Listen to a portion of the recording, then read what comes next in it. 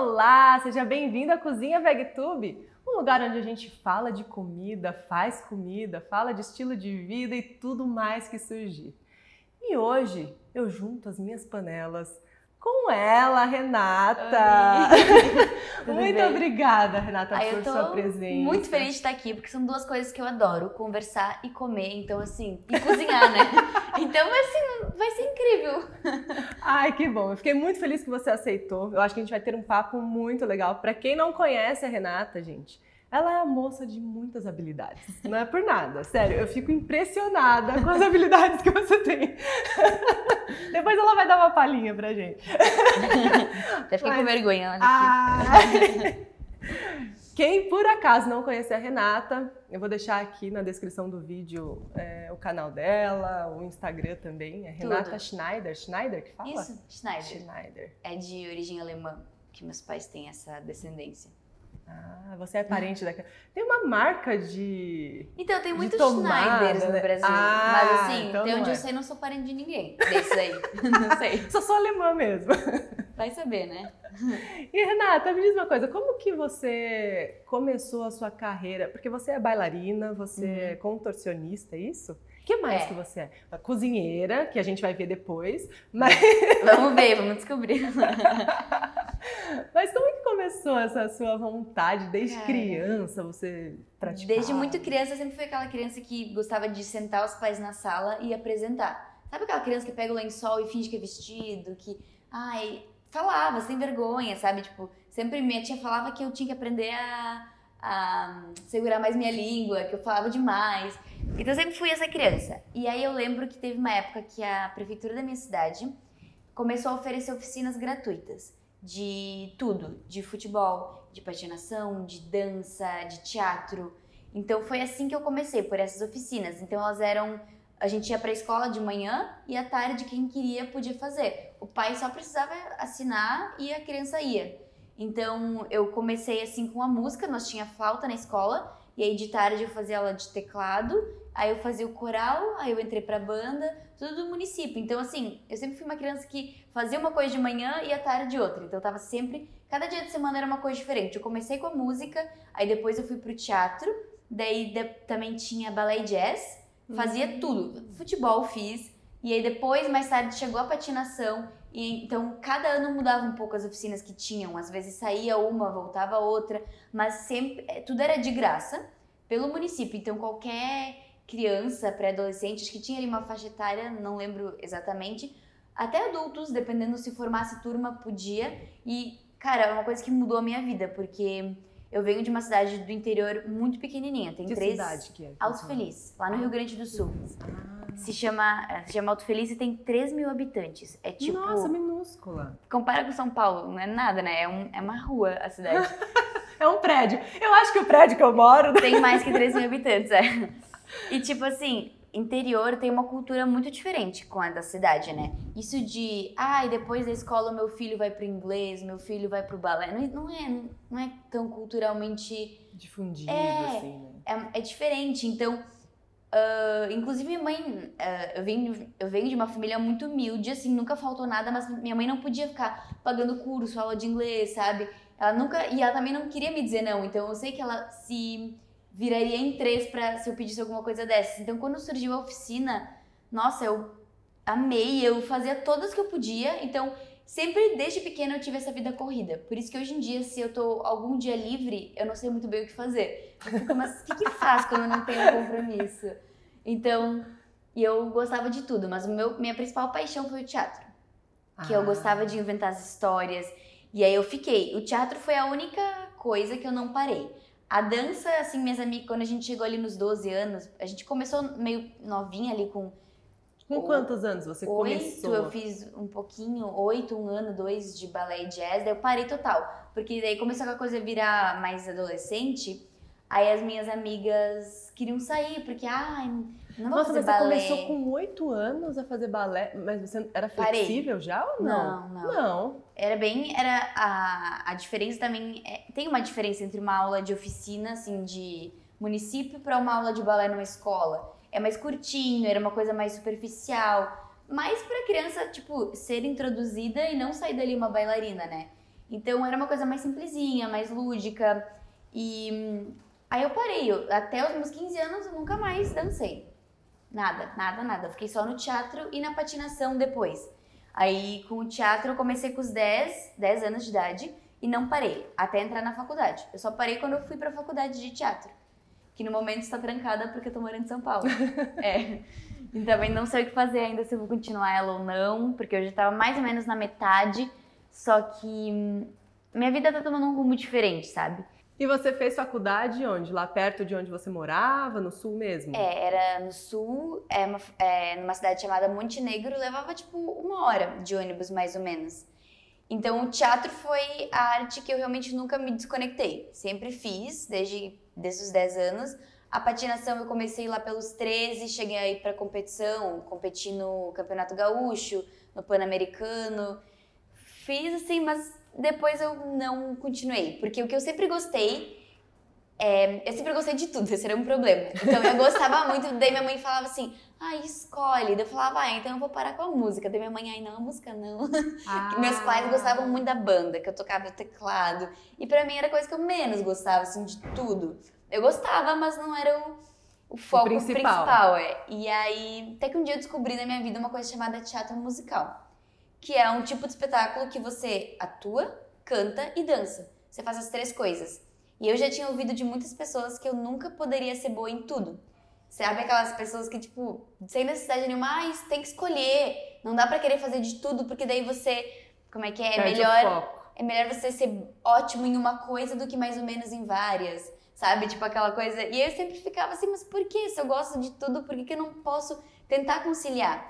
E aí, quando eu descobri que existia essa coisa de teatro musical, que aqui em São Paulo é muito famoso, mas lá não é uma coisa que chega, eu fiquei, cara, é isso! É isso que eu quero. Porque até então eu não tinha certeza se eu queria ser bailarina, se eu queria ser atriz, que lado, o que, que eu escolho? E aí eu vi, cara, dá pra fazer tudo. E também não preciso fazer pro resto da minha vida. Eu posso, em alguns momentos da minha vida, estar tá trabalhando mais como atriz, sei lá, fazendo uma minissérie ou espetáculos teatrais. Agora eu vou ah, focar mais na dança. Eu já fui professora de balé, já dei aula de jazz, de preparação física.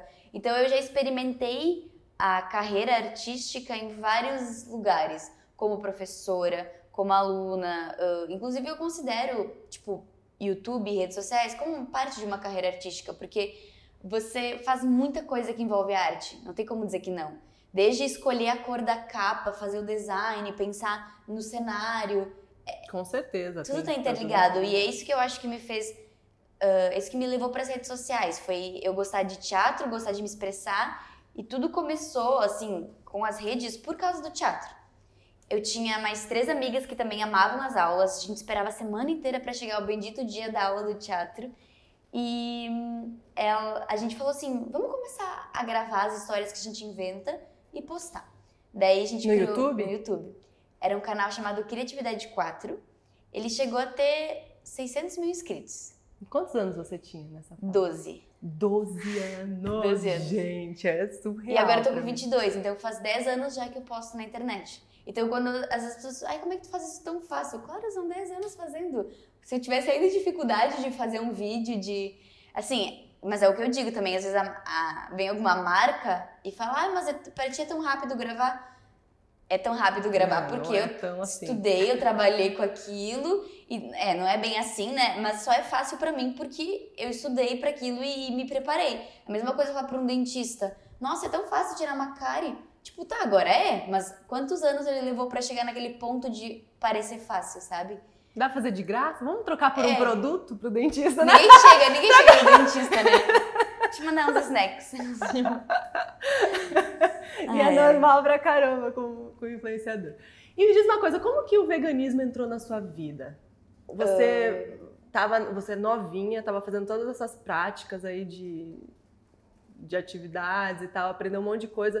E você já era vegana? Você nasceu numa casa, num lar vegano ou não? Como que foi isso? Não, ninguém da minha família é vegano. Uh, os meus primeiros amigos veganos foram agora aqui em São Paulo. Até então eu não tinha nenhum amigo vegano. Já tive amigos vegetarianos, porque no mundo artístico a questão do vegetarianismo é bem disseminada. As pessoas sabem o que é, muita gente é, e quem não é respeita, sabe? Entre os artistas rola muito esse respeito. Tanto que quando eu vou fazer um trabalho, Nem sempre, mas assim, a- acontece muito da pessoa se preocupar. De, tipo, ah, ter uma opção sem carne, mas a opção vegana ainda nem sempre tem. Tipo, ah, vou fazer uma audição, aí eles entregam um lanche pra quem for fazer a audição. É sanduíche, daí, ah, pra quem é vegetariano é sanduíche de queijo. Aí, pra mim, ainda não tá lá nesse nível ainda, Pra mas... você é o pão, É, eu acabo assim, ah, o pão obrigada. com uma folha de alface. Come em casa, come em casa. Mas enfim, tipo, meus pais não são. E lá churrasco é muito forte, né? Todo final de No semana. sul, né? E, mas ele, quando eu decidi, aconteceu assim. Eu tava num churrasco, inclusive, Hum. e tava. O churrasco era da família da minha prima. Então, tipo, eu só conhecia a minha prima. E tinha uma prima da minha prima. E ela tava comendo salsicha de soja. Ela falou, ah, porque eu sou vegetariana. Eu, mas por quê, né? Sabe? Sabe? Literalmente muito inocente, assim. Mas por que, que tu não come carne? Sabe? Não, não- Por quê? Ah, ela falou por causa dos animais, assim. Acho que eles. Não acho legal ter que matar eles pra comer. E aí, tipo, quando a gente é criança, a gente escuta muito isso de que, ah, isso é frescura. Ué, é, bichinho nasceu pra. Ele nasceu pra isso. Então, na, na minha cabeça, na época, eu fiquei tipo, ai, nossa, nada a ver, né? Hoje em dia, se eu olho, eu fico, nossa, como eu fui idiota, né? Não precisava ter. Mas eu não falei nada. Uma boa parte, né? E ela foi super simpática comigo. Ela falou, quer experimentar? É gostoso. E a gente que é vegana, a gente sabe que a gente não, não compartilha tanto a nossa comida porque a gente acaba ficando sem, né? Porque a gente não pode comer dos outros. Mas ela foi super, assim, simpática e eu provei e falei, é, é gostoso mesmo. Não faz tanta diferença pra mim trocar a salsicha, tipo, a animal, animal, por né? essa, assim, não, não ia ter tanto impacto. Falei, ah, legal. Só que ela era de Porto Alegre, que é uma cidade grande, então ela tinha acesso a essas coisas. Eu, eu era, tipo, do outro feliz. Nem nada, de né, soja a gente acha. É assim, grão de bico, uma coisa que não tem no mercado lá. É difícil achar.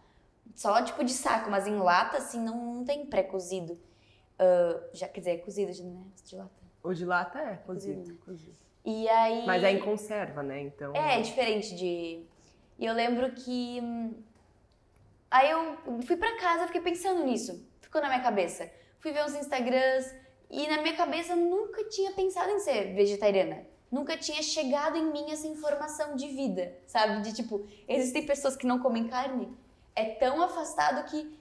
E hoje em dia, quando eu chego num lugar, um restaurante, eu peço, ah, tem opção vegana, e a pessoa fica, vegana?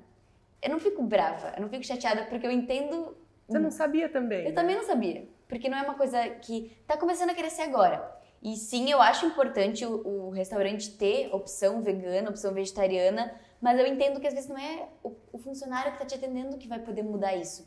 Então eu já fui, já tive alguns amigos veganos que saí pra comer, daí falavam, ah, não tem opção vegana. Caramba, e pessoa é a pessoa é grosseira.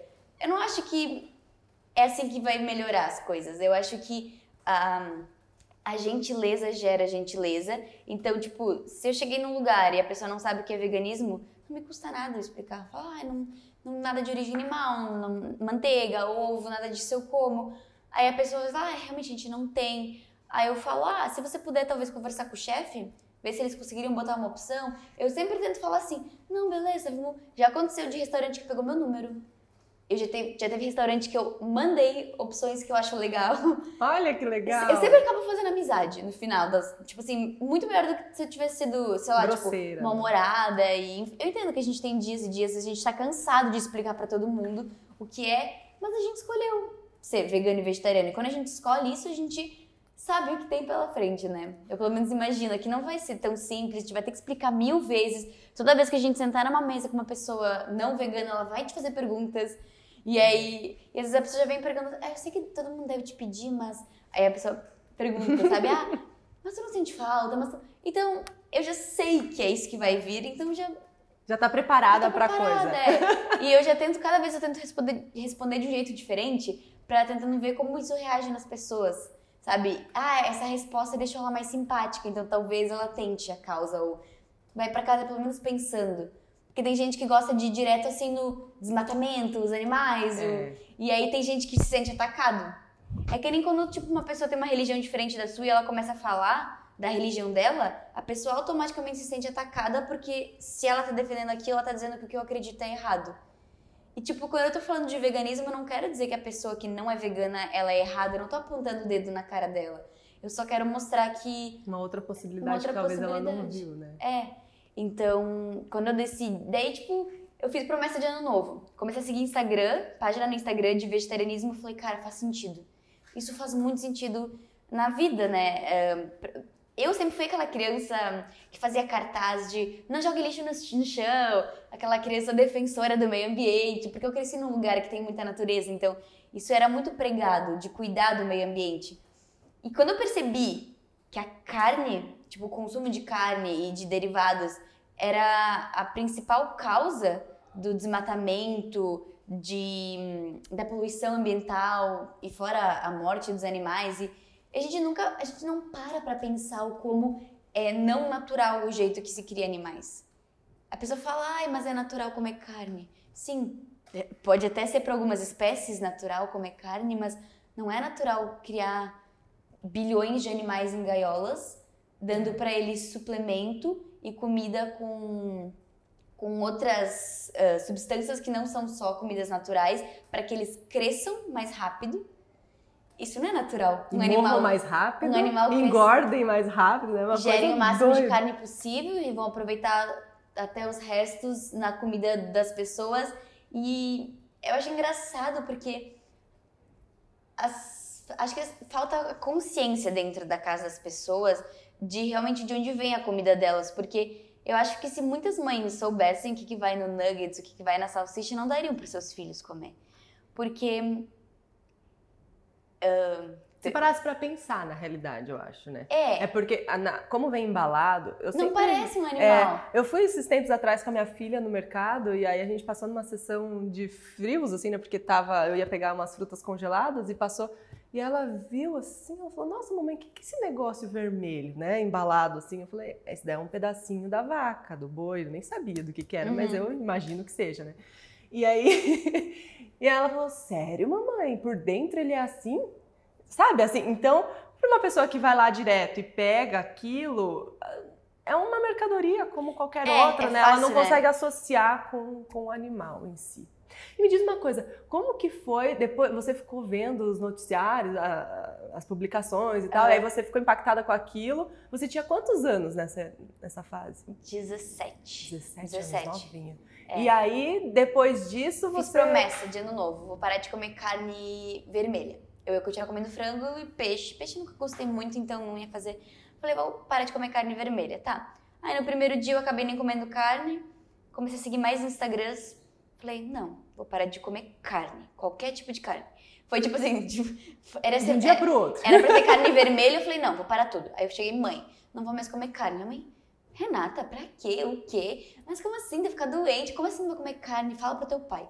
Minha mãe fez tudo um. Eu, pai, eu vou parar de comer carne. Tá, mas cuida. e o meu pai, assim, churrasqueiro, tipo assim, eu achei que ia ser muito difícil. Ele falou, não, tá, mas cuida. E eu lembro, eu lembro muito na época, assim, que todo almoço, aí eu, uh, eu ia pra cozinha com meu pai, aí ele fazia o almoço normal e eu sempre fazia um omelete. Pra provar pra eles que eu tava com força de vontade de realmente parar. Porque eu não. Eu sou aquela pessoa que, se eu decido uma coisa, eu sou muito orgulhosa para voltar atrás. Então eu penso assim, mesmo que eu odeie a sensação de, tipo, parar de comer carne, mesmo que eu me sinta mal, eu vou, vou me esforçar muito para não voltar atrás. Daí eu, me, eu comia omelete, eu fazia, tipo, eu comecei a pesquisar o que, que vai pro, tipo assim, como substituir. Mas na verdade não existe nada que substitui. Existem outros alimentos com propriedades parecidas com a da carne, ou que tenham coisas que a carne tinha. Mas não existia um alimento que substitui a carne, porque são coisas totalmente diferentes. E o ser humano não precisa de carne, então a gente não precisa substituir ela, né? Só cuidar realmente dos nossos macros, tá comendo bastante proteína. Como eu, eu sempre fui bailarina, atleta, eu sempre precisei ter essa, esse cuidado com a proteína para evitar lesão, para manter os músculos bem cuidados. Então, eu me propus a isso. Daí eu fiquei um ano e meio sendo vegetariana. E foi na pandemia, veio a pandemia, e aí eu tava comendo muito mal, assim. Uh, porque eu tinha parado com tudo. Eu penso, eu tinha uma rotina louca, eu não podia mais pro balé, não tinha, a faculdade era tudo online e era só uma vez por semana, porque faculdade de teatro online não tem muito, né, como... O que, que você encena sozinho, né? Não... Daí que eu comecei a focar nas redes, porque até então, quando eu tinha o canal com as minhas amigas, a gente decidiu parar. Foi na... antes da pandemia, a gente parou. Ah. E aí a gente falou, ah, tipo, não é. É que na verdade uma das meninas já não queria mais. eu sempre quis muito, eu queria continuar o canal, eu tinha vários planos, a gente fazer um, um espetáculo e rodar o Brasil com o nosso. Só que daí, se não é da vontade de, de, todo mundo, não faz sentido continuar um canal que era um quarteto, né? E nesse canal era uma outra vibe, a gente postava coisas mais engraçadas. Pelo menos a gente achava que era engraçado. Tipos de mãe, coisa que todo adolescente faz. Uh, e se as redes sociais fossem pessoas? A gente fazia umas sketches assim. É, mas daí quando eu fui pro meu canal, eu comecei a postar mais coisa de rotina, dia a dia, da minha vida. Mas eu tenho vontade de voltar, voltar com esses conteúdos, só que dá muito trabalho. Ainda mais se você é sozinha, né? Se você está entre quatro, tem alguém que segura, alguém que faz a cena e outra pessoa que já tá ali ajeitando pro próximo, sabe? Agora sozinha é você que põe a câmera, você que faz Hoje você faz tudo sozinha? Você grava os vídeos todos tudo sozinha? Tudo sozinha, tudo sozinha. A única coisa é que agora eu tenho ajuda de edição. Mas até ano passado, até edição, fazia tudo, tudo, tudo. E aí agora tem uma prima que ajuda. Essa prima fazia parte do canal. Ah. E aí ela foi, seguiu a vida, foi fazer outra coisa e agora ela voltou para essa parte de design, ela quer. E aí a gente, tipo, falou, vamos fazer uma parceria. Então, tu começa editando meus vídeos, aos pouquinhos. Ela começou editando um, dois, daqui a pouco ela tava pegando todos os TikToks, daqui a pouco o canal também. Ela agora tá fazendo até as capas do canal. E a gente foi evoluindo juntas, assim, de tipo, ela foi aprendendo do jeito que eu gostava e ela editando vai aprendendo, porque a gente aprende muito na prática, né? Tudo que eu sei fazer de edição, eu aprendi sentando e fazendo. E hoje em dia eu sei editar um vídeo muito rápido, porque eu tenho muita prática. Então eu faço aqui, eu fiz o vídeo, tá pronto, sabe?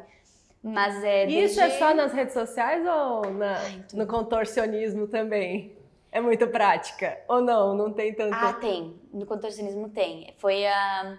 A época que eu me dediquei muito para ser contorcionista, tipo assim, levei a sério porque eu ia, porque eu tava trabalhando como Como que você descobriu, desculpa, mas como que você descobriu o contorcionismo na sua vida, assim, sabe? Por... Cara, eu assistia muito vídeo no YouTube de ginastas.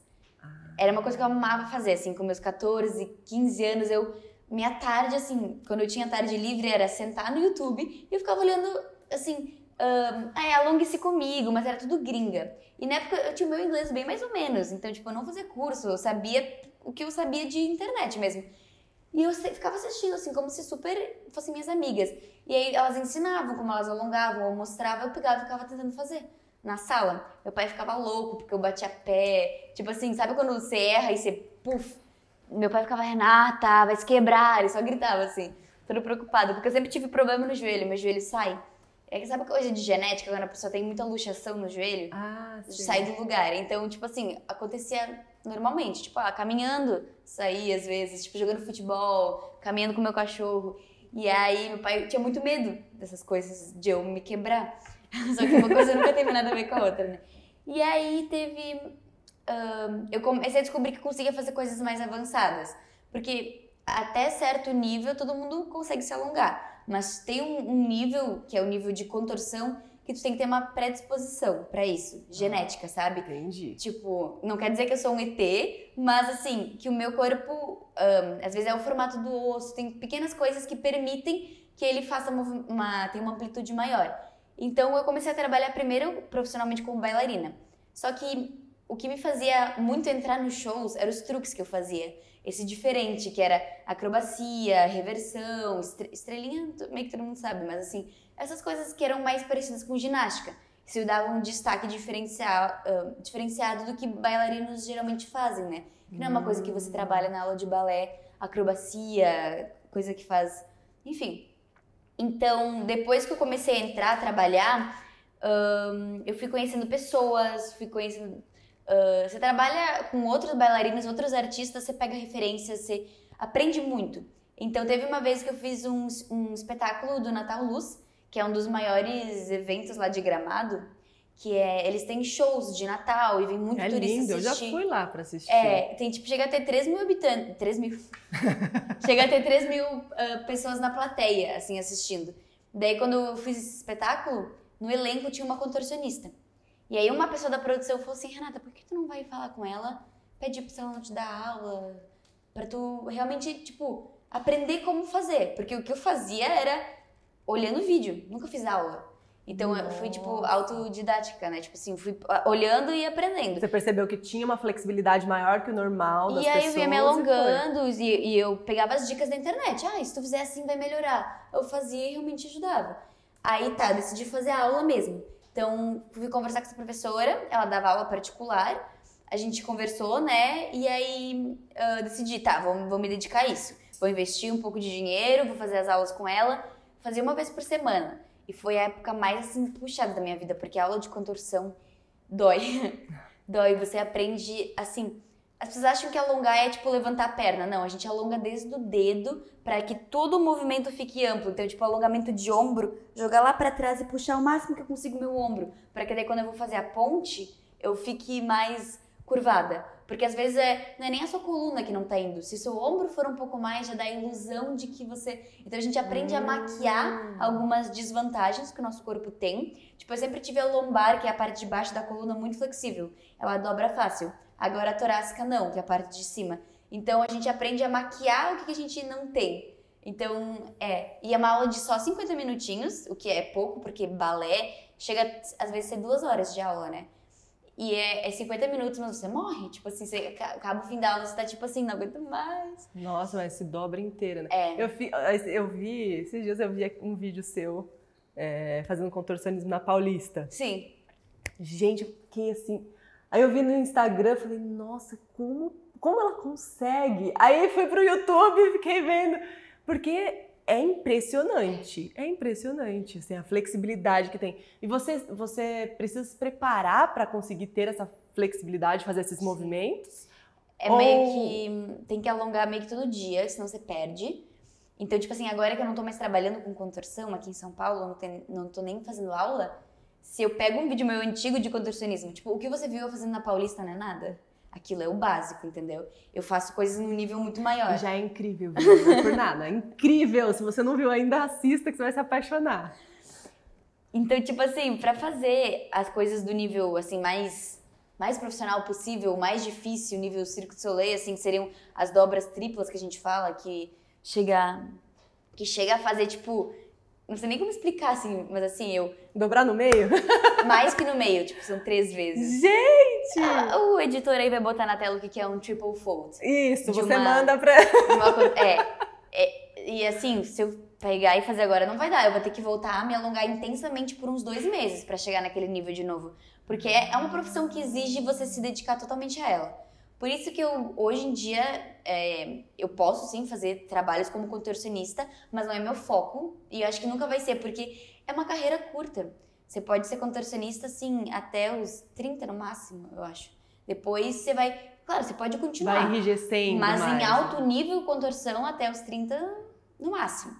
Eu tenho, assim, amigas contorcionistas com 25 que falam, já não consigo mais. Porque você se lesiona, né? Seu corpo não é feito para fazer aquilo. A gente força o nosso corpo a fazer uma coisa que não é natural. Mesmo que a gente tenha uma flexibilidade natural, a gente vai além do que já é o natural.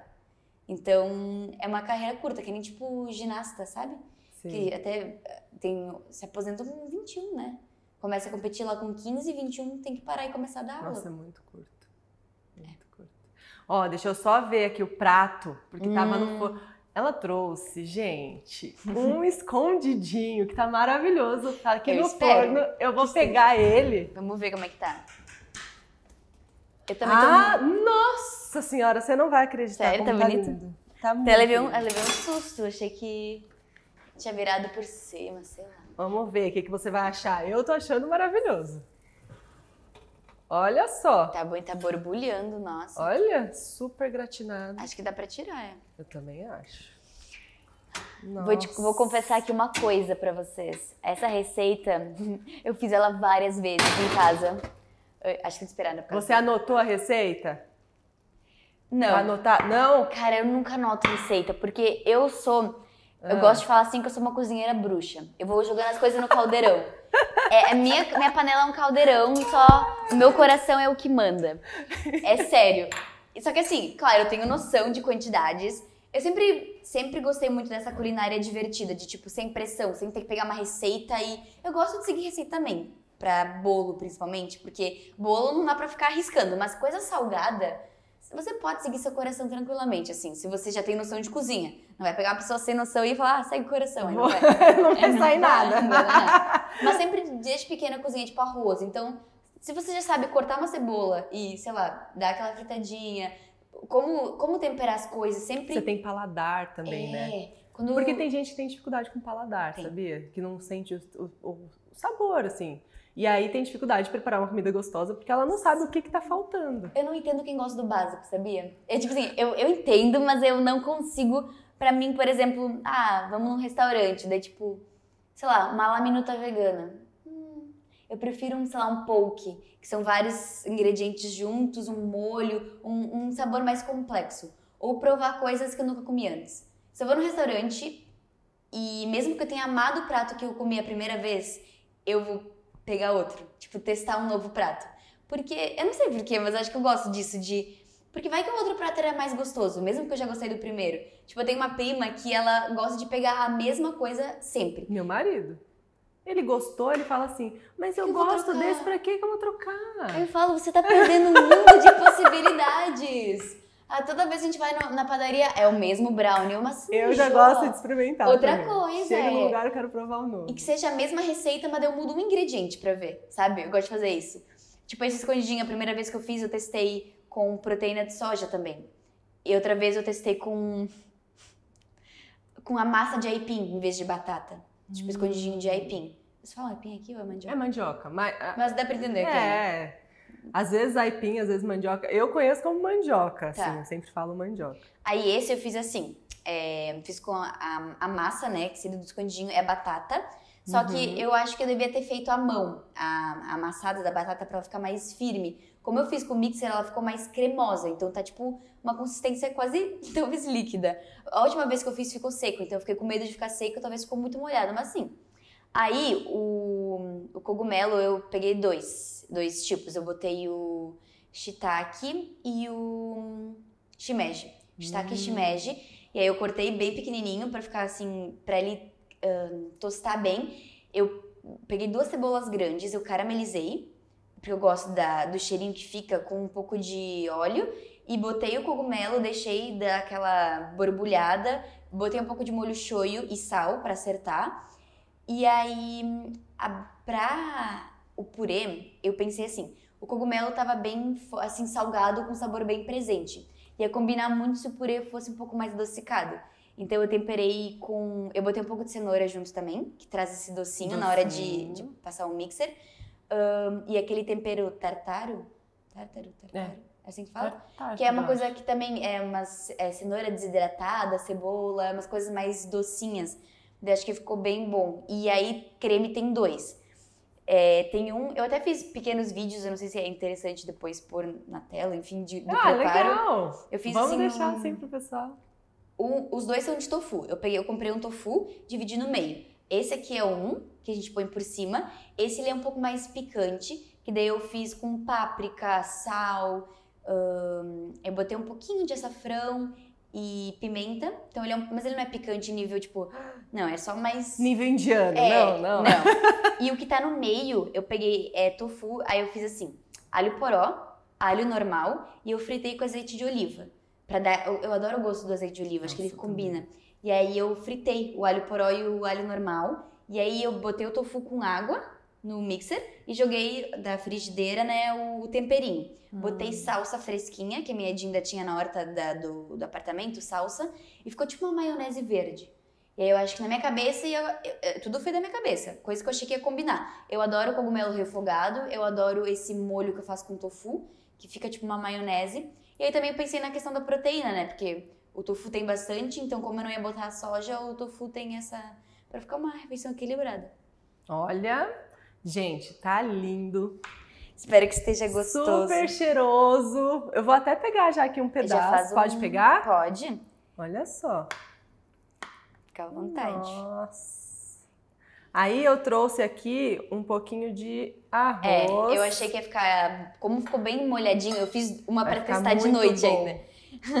Ficou cozinhando a semana Eu inteira. tô curiosa pra Mas salada olha, também. O que, que é essa salada? Eu vou explicar. Então, eu peguei um arrozinho aqui. O arroz, eu fiz um arrozinho com quinoa. Se você não sabe fazer Ah! arroz com quinoa, faz, porque vale muito a pena. Às vezes a gente come um arroz branco. Por exemplo, eu às vezes gosto de comer o integral, mas eu gosto às vezes de alguns pratos ter o branco, porque ele tem um Ah, sabor diferente, né? Eu concordo. E aí, pra ficar mais nutritivo, principalmente até pensando nas minhas filhas e tal, eu sempre coloco um pouco de quinoa junto. Eu amo quinoa. E fica. Depois você experimenta pra ver. Eu acho que fica bem gostosa a combinação do arroz com a quinoa. E aí, meu, fica um prato assim Parece já com mais crocante. fibras e tudo, entendeu? É bem Ficou- legal. Tipo, você dá uma fritadinha que parece crocante ou... Não, você cozinha junto. Junto? Coloca, é. E deixa de molho com a, a arroz, quinoa? Você lava a quinoa. Não precisa deixar de molho, só Não, lavar. nem- só lavar. Lava bem, porque senão ela fica amarga, né? O Sim. segredo da quinoa é lavar ela bem. Senão ela amarga a receita. Aí lava bem, coloca junto com o arroz, dá uma fritadinha ali com o tempero e coloca água e deixa cozinhar. Fica Nossa. pronta. Bem prático. E a saladinha é uma salada de atum, a gente até ensinou já no canal, atum vegano, né? Então ela é a base de grão de bico e tofu. O tofu é cozido com alga nori, então ele fica com um sabor suave, assim, Aham. da, da alga. E aí Ai, eu tu dá adoro sabor de alga nas coisas. Eu amo comida japonesa vegana. Ah, eu então odiava comida japonesa até virar vegana. Olha só, Porque eu, não gostava do peixe. Aí depois eu fui descobrir, cara, não, é bom. é- o eu problema do- não é o, não Não é é o peixe. o problema é o peixe, não as outras É. coisas. E, e aí, assim, o que eu pensei, né, gente, é porque, imagina, ó, se você fizer esse escondidinho aqui, aqui ela já até colocou tofu, mas, por exemplo, você não, não tinha o tofu para fazer o escondidinho sem tofu, você faz escondidinho, faz um arroz e uma salada, assim, com grão de bico, nossa, seu, a sua refeição tá completa. Não tem como não agradar, né? É, não precisa se preocupar com as proteínas, né? Porque o grão de bico é riquíssimo em proteína. O grão de bico vai tem proteína. misturado? Você tipo, bate no mixer ou ele tá em Ele cozido, você amassa com garfo só. Ah, que delícia. E aí mistura o milho para dar um uma adocicadinha, E tomate dá o- tomatinho, uma cebolinha Nossa, e sim, um pouco de pepino. Eu gosto de pepino, nossa. eu amo pepino também. Aí fica tudo ali. Fica... Desde que eu virei vegana, meu paladar mudou muito, muito. Eu consigo apreciar, assim, tipo assim, vou comer uma salada com gosto. Porque eu aprendi como fazer uma boa salada, também tem isso, né? Porque as pessoas acham que associam salada a coisa ruim, logo, né? Ai, vou ter que comer salada. Falei, que É. bom que eu vou poder comer salada nessa refeição. Minha Mas muitas vezes quando você vai no restaurante, a salada é o quê? É aquilo, né? alface, tomate, Tomate. tudo separado. E aí E- não e é tem 40 um reais. molho, não tem nada pra você pôr em cima. Eu lembro que eu trabalhava fora e no restaurante, nossa, dava uma preguiça de comer salada. Porque era aqueles molhos prontos, sabe? Gente, só. É. E aí você joga por. Eu não sinto prazer comendo aquele molho. Nossa. Eu amo em restaurante que eles fazem saladas, tipo, no bowl, assim. Daí você escolhe qual molho você quer, qual Nossa, tempero. Aí é outra Você vai coisa. milho, você vai. É, que monta do seu jeito, tipo um.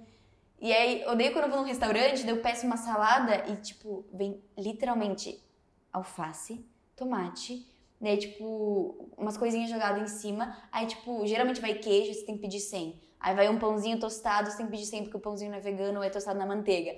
Aí você paga, tipo, 40 reais pra comer folha. Eu fico assim, gente. Sem tempero! Detalhe Sem importante, sem tempero. Aí você pega o azeite, o sal e come alface com É. azeite e sal. Você poderia pagar, sei lá, 5 reais É. pra comer dois dias da semana na sua casa. tão caro salada, de verdade, em restaurante. O- o às vezes o prato principal, sei lá, um estrogonofe, é mais barato que a salada. Eu não entendo isso. É, é impressionante. Deve ser porque, tipo, a salada é uma coisa. Pode ser. E por ser uma coisa meio, assim, não, talvez é elitista a palavra, assim, comer salada. Nenhuma pessoa de baixa renda vai no restaurante e escolhe salada, sabe? É. Eu acho que é por isso que é mais caro. Pode ser, porque é uma coisa meio. Ai, eu vou comer uma salada, sabe? As pessoas têm essa visão. Vezes quando eu falo assim, ah, vou pedir uma salada, as pessoas hum, salada. Eu falo, gente, eu só, eu só queria, salada. eu só queria comer verde, Se sabe? você for na feira, é mais barato que É a a carne minha- que você tá comendo. As pessoas ficam, hum, salada. Eu fico, gente, é, é- é legume, é, é- é, tipo a coisa mais natural que tem. As pessoas veem salada como uma coisa chique. Gente, não é? Engraçado, né? É impressionante. Enquanto você se serve, se você quiser já pegar, eu quero falar um pouquinho com você que a gente tem agora. A gente lançou recentemente um curso, o curso Desperta. É um curso de mudança de hábitos.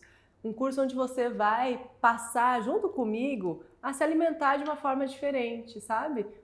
Usar o poder das plantas para deixar a sua saúde melhor, para você viver com mais disposição, com mais saúde, porque as plantas elas têm um poder enorme na cura de doenças, na, no nosso estilo de vida. Sabe, você se alimentar à base de plantas vai te trazer inúmeros benefícios.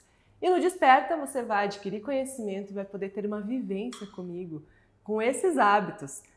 Assim, com todas as receitas, tudo pensado para você, com cardápios completos para você também. Então, conheça, vou deixar o link aqui embaixo na descrição do vídeo para você conhecer o método Desperta. Eu tenho certeza que ele vai ser muito bom para sua mudança de hábitos e de estilo de vida. Com certeza você vai viver muito mais disposto depois de passar pelo Desperta. Nossa, se der para aprender a fazer esse arroz soltinho, nossa, impressionante. o arroz caiu grão por grão, nunca vi tão soltinho assim. Ai, ai, ai. Impressionante. Com certeza. Pode sim. E, é... gente, olha isso. A cremosidade com arroz. Nossa Senhora. Eu vou experimentar já.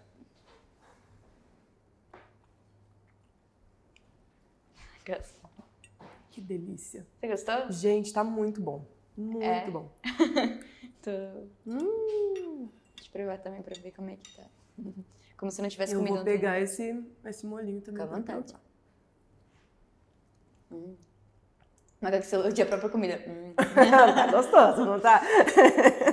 Tá com uma vibe meio assim de. Quase. Não sopa, mas. Sabe creme de batata que você vai no É. restaurante e eles colocam esses cogumelos e coisa? Uhum. Nossa, ficou muito bom, muito saboroso. E o creminho picante, Hum. muito gostoso também. Ele combina. Tipo...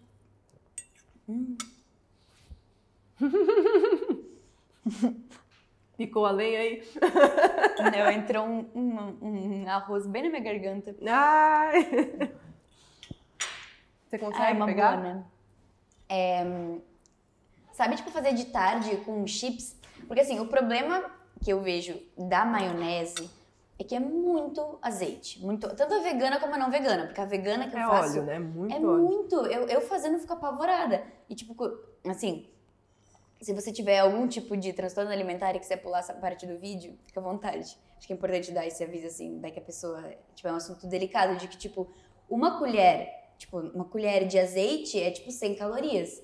Que equivale a uma banana, por exemplo. Às vezes a pessoa acha que precisa comer pouco pra, sei lá, manter o peso ou alguma coisa do tipo.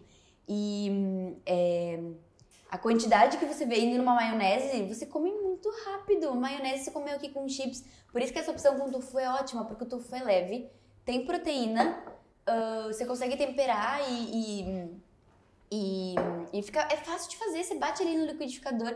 A coisa que eu mais amo em São Paulo é o preço do tofu. Nossa. Cara, Eu não sei onde você compra, mas assim, eu compro por um quilo por 16 reais. Um Cara, então eu, eu era tofu. pagando caro, então, porque eu compro, eu compro 500 gramas por 16. Lá na minha cidade, na minha cidade não, na cidade próxima, que é onde eu encontro o tofu mais próximo de mim, é 30 reais, Nossa, 300 gramas. caro. Não dá É. pra comprar sempre daí, né? Não, aí tem que fazer. Tem que- Dá- Eu nunca fiz tofu. Nunca fez? E é fácil de fazer, É? viu? É. Não é uma coisa difícil de fazer, não. É, a minha tia, eu sempre. A gente vai na casa dela, ela mora em Caldas Novas. Lá não é tão fácil de achar também na região tofu. É em São Paulo, faz. Caldas Novas? Não, Não. é em Caldas Novas, Goiânia. Goiás. Ah. Goiás? Goiânia. É, do, pertinho de Goiânia, né? Isso mesmo. Não, tô- eu vou lá e não sei onde que é. Mas aí ela faz em casa, sabe? Uhum. E é só bater a soja, daí coagular. Tipo, você bate ela demolhada Uhum. no liquidificador, ela vai virar um leite bem espesso. E aí você coa e aí depois Naqueles faz panos. no, no pano de voal. Daí deixa todo bem juntinho, né? O... É, né? Você vai usar o leite, na realidade. Aí você tira. Ah! é, aí você vai fazer, vai esquentar, aí ele vai Ferver. cozinhar. E quando ele cozinhar, na temperatura que você coloca o dedo e não queima seu dedo, você coloca o coagulante, que pode ser o limão, pode ser. Ah, E aí ele vai coagular. Mas só limão? É, com limão ele coagula. Eu faço com limão. Nossa, e quanto tempo pra Ou dá pra coagular? ser com cloreto também, mas aí, assim, uns 20 minutos ele vai coagular já. Aí você vai começar a ver que vai se juntar as coisas assim, ó. Eu achei que era tipo cinco dias deixar parado lá. mas- Não, é muito fácil. A gente tem no canal umas três formas de fazer tofu diferente. É bem simples. Olhar. E aí você depois coa isso, deixa, ele vai drenar, vai sair como se fosse uma aguinha embaixo Uhum. e o leite vai ficar todo coagulado. E aí você pre- pre- pre- é, deixa ele pressionado, Prensa, né? Prensa. Então coloca ele dentro Aham. de um recipiente que tenha furinhos embaixo, coloca um peso em cima e aí deixa lá. Depois de umas 3, 4 horas você vai olhar e ele vai virar, vai ter virado tofu. Eu já fiz tofu de lente, de ervilha rosa. Daí um tofu rosa, assim. Ah, Você nem lembra sei. como é que eu fiz, mas eu lembro que eu testei uma vez, vi no Instagram. Mas Receita. o sabor não, não, Não é, é, igual ao tofu, é. né? Vamos combinar? Não, é outra eu coisa. já testei também, mas E eu também não fica com a textura, fica uma textura quase mais borrachenta do que. ah, o tofu ele é diferente, eu não sei nem explicar. Pra mim, tofu, ele é mu- muito versátil. E eu, toda vez que eu preciso ir em algum lugar fazer alguma receita, eu compro um tofu porque eu sei que eu vou me virar. Se eu quero fazer um doce, eu bato o tofu com cacau, açúcar e vira tipo um mousse. Se você sabe colocar as quantidades certas, eu só preciso do tofu e botar outras coisas junto. Ele pode virar um creme, ele pode virar. Cara, tofu vira meu queijo em É, algumas é muito ocasiões. Eu coloco, tipo, ahn, levedura nutricional pra dar gosto de queijo. E aí, se eu fazer uma lasanha, eu coloco uma camada de tofu, como se fosse o queijo, porque ele fica bem molhadinho, sabe? Então. É, Não, é muito bom. Eu compro de 2 a 3 quilos em casa, toda semana, de tanto que a gente consome, assim. A gente é curte levinho, né? muito. É. E é natural também, não tem ingredientes. Então, para pro jantar, é uma, nossa, excelente opção. Vou provar salada. Claro. E você, é, você parou daí com o contorcionismo e o balé você continuou porque, por causa das suas apresentações com... Nossa, muito bom. Gostou? Tem algum gosto que eu não tô. Talvez da Identificando. Alganori. Pode ser. Deve ser da Alganori. É um gosto que fica lá no fundinho de. Nossa, que diferente, amei. Muito bom. É, Gente, deve ser Alganori, que Pode é do tofu. Mas eu não achei gosto de alga, de tipo, de comida japonesa. Não é esse o gosto, é? Então, é muito suave. Tá. É que eu, particularmente, tenho um problema com algas, assim, Uhum. com o sabor forte Sabor. da alga. Então, por exemplo, um sushi eu não consigo comer muito bem, sabe? Eu Uhum. fico. O gosto não. É, porque assim, eu nunca que- comi carne. Então, a Nunca? carne. Não. Carne não, usava muito laticínio, mas carne eu nunca comi. E aí, o peixe, o cheiro do peixe, a alga, como ela tem um. assim, esse cheiro de mar, né? Essa- Uhum. Isso me incomoda um pouco, sabe? De. Te traz a mesma associação, essa coisa meio de É. mar, peixe. Eu entendo essa vibe praia até. E aí, quando eu como um sushi, por exemplo, eu sinto o gosto da alga muito forte. Eu consigo comer é, o frito, que é aquele frito com. É, aquele lá, eu acho que a alga ela passa desapercebida. É. Até porque é frito, né? Tudo que é frito. Mais gostoso. Vamos combinar que a gordura é um negócio. Então, aí passa, mas os outros eu tenho mais dificuldade, assim, de comer, sabe? Aquela, Não, eu entendo. Tem- eu conheço muita gente que não consegue, assim, pela alga mesmo. Não gosta, não curte. Não curte a alga. Molho shoyu não gosta. Então, tipo, se a pessoa não gosta do combo, não vale a pena, né? Ficar se esforçando Pra gostar. ir, no... É. é, não, aí não Até vale porque é caro, né? Comida japonesa não é barato. Mas tem uns veganos muito saborosos, assim. E eu já fui nos, em, em alguns aqui de São Paulo pra já provar e falar assim, o Sushimar, eu já... Sushimar? Você não foi. Tu foi no Ito vegano? Fui no Ito Esse é bom, também, é esse bom. Não, são bem bons. Mas, assim, de todos que eu fui, eu tenho dificuldade quando o sushi Você é, tem a alga. com Ah, a, é, com a alga. Aí eu como outras coisas. E yakisoba, tipo, você gosta? Gosto. Yakisoba eu gosto. Também gosto. eu gosto daquele também, o... Ai, que vem com os... É meio uma sopinha com macarrão. Lamen. Isso. Nossa, eu amo lamen. Inclusive, meu marido faz um lamen. É? Ai, que Ó. delícia. Temos que marcar uma janta. Ele é bom na cozinha. Ai, ai. E daí você. Vamos voltar pro assunto Vamos. da sua. que a gente ficou aqui na comida. Não, mas antes, voltando na comida, você falou de transtorno alimentar. Você passou por algum processo de transtorno alimentar? Você deu a Então, dica aqui pro pessoal? É, eu cuido quando eu vou falar sempre disso, porque muita bailarina me acompanha. E quando você é bailarina, querendo ou não, indiretamente ou não, isso tá muito interligado, sabe? A Ah, questão é? do corpo. Uhum. Porque pra entrar numa companhia, você tem que ser, principalmente de balé clássico, você tem que ser, ter um padrão muito específico. Eles gostam muito de uma magreza quase não saudável, é, altura específica, tipo de pé, flexibilidade, são pré-requisitos que você tem que ter que às vezes fogem do seu controle, né? Por exemplo, eu não tenho um pé de bailarina natural bom, que é aquele pé que curva, sabe? E é uma coisa que eu não consigo mudar, porque é minha genética, é o formato do meu pé, é meu osso. Então, eu já tem coisas que é que nem eu querer falar, ah, vou ser jogadora de basquete. Posso querer ser, mas eu vou ter chance contra os profissionais que têm dois metros de altura? Não. Existem facilidades físicas que ajudam ao, ao esporte, né? Uhum. Então, é, muita bailarina passa por isso, porque a gente se compara, a gente faz aula usando meia calça e colã. A gente tá se olhando num espelho por duas horas. Então a gente vê na internet as bailarinas famosas, todas as que estão em companhia, as grandes bailarinas, extremamente magras, um, com um físico assim perfeito e o sorrisão na cara, né? E, e, a gente entende que aquilo é o, o mais bonito, porque se elas que estão no topo têm essa aparência, esse físico, quero também tentar ter. Só que para muitas meninas isso é muito difícil, não é saudável e aí acaba se é, se perde no caminho, deixa de comer para tentar chegar naquele físico, é, ou também não consegue chegar no físico, então ela tem o corpo dela, mas vive muito frustrada ou recebe muito não. Bailarina fora de forma, com muitas aspas, tipo, não entra em companhia, não consegue trabalho. Porque já na hora de corte, às vezes a menina, eu já vi, já aconteceu, assim, não comigo, mas eu estava numa audição e eles cortaram meninas antes de dançar. Não deixaram dançar, porque falaram, a gente já não quer, não quer, não quer. Muito obrigada, sabe? Então, assim, a gente fica um pouco dividida entre lutar contra esse padrão que é, é meio errado, assim, e ao mesmo tempo que eu quero trabalhar. Então, existe esse, é, esse contra, contrapeso, assim, contraponto de, tipo assim, você quer que mude, mas ao mesmo tempo também você quer continuar trabalhando, então, tipo, você tem que achar um equilíbrio, sabe? E você já tentou ser mais magra do que você Já, é? eu tô numa fase agora que eu tô já com peso mais saudável, mas já fui muito, muito mais magra que isso. E eu não percebia na época. Hoje em dia eu vejo fotos e eu falo, nossa, como eu tava magra. E, e é estranho porque hoje em dia quando eu me olho no espelho eu falo, nossa, como eu ganhei peso. E todo mundo, todo mundo obviamente me vê como uma pessoa magra, porque eu sou uma Sim, pessoa magra. Uma pessoa... e, e, e, é tanto na nossa cabeça isso que tipo, eu me olho e falo, nossa, eu tô fora do, do físico. Sendo que, tipo, não. Jura? Juro. Porque hum, antes eu era, tipo, extremamente magra, de, tipo, aparecerem todos os meus músculos, de tão magra porque eu não tinha gordura.